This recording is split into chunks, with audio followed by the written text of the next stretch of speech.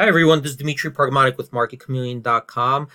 When you're trading options or even stock, one of the important things to look at is volatility. You want to see where's volatility in a stock trending and where it's been historically and how what how does today's volatility compare to um, its historical volatility. And volatility, there's no one way to measure volatility and there's no one correct way to measure it. There are different methods you could use. So I'm going to take a look at a couple volatility charts here to see um, how we could compare different volatility metrics. And this is an SPY, and this is a one-year chart. And the two lines that I'm looking at right now are one is using close-to-close prices.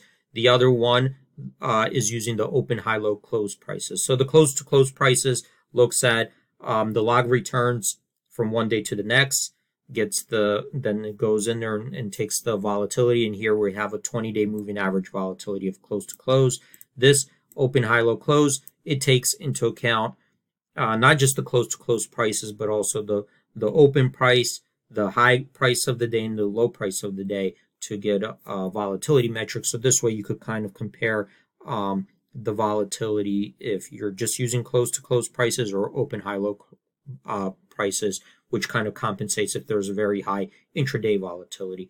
Now, another thing that you might want to look at is how does the volatility look like from open to close, right? So, um, how does the volatility during the day drift? You know, so there might be a lot of gap moves, and then after it opens, the stock may sit there, or it could be the other way around, where most of the volatility is in the intraday, and there's very little volatility um, from the previous day's close to the open. So here's an open to close.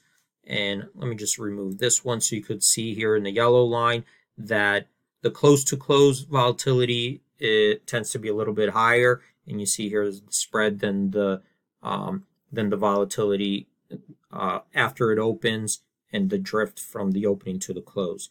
Another uh, volatility metric we could look at is from the previous days close to the next day's open and this measures the gap right? The how much did the stock move um, from its closing price to the next day's opening price? Or there big gap moves uh, in between? So let's just look at the close to open here. I'm going to take um, well let's leave these for now. So you could see now i'm comparing three different volatility metrics and you could see here that um, over here, there's a wide gap between the intraday volatility and the day and the um, volatility from the previous day's close to the open. And now what we're seeing is they're kind of converging here, where you know a lot of the volatility um, that you see is is really you know from the previous day's close to the open.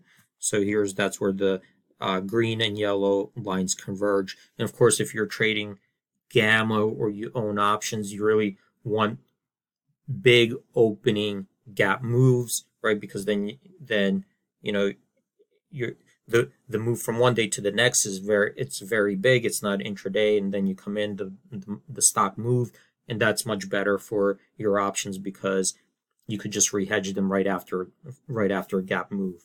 Um, so that's a couple different volatility metrics to look at and plot against each other in a graph to see what's been going on. And here, obviously, we also see that the volatility has been coming in. So you see in SPY, it's um, over here in August, it's been higher and it's been trending lower. You know, we had to look a little bit of an uptick here, and then it's been trending lower as the market has been increasing. So um, that's one way to look at volatility graphs and kind of help you out to see to assess what's going on with the volatility in a specific stock.